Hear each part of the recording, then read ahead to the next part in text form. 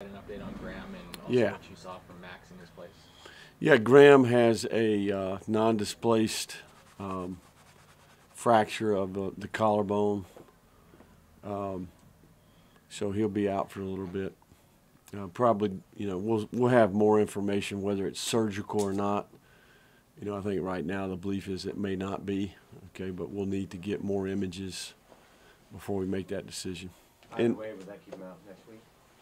Uh, we'll see. I'll, I'll let you know Monday. Um, I don't want to speak on something where I don't have hundred percent of the facts. I just know that he's unavailable. We think it's pretty significant injury, but I, I can give you a more specific time on Monday. And and you know, give Max some credit. Um, you know, Max settled in there a little bit and uh, made a few plays.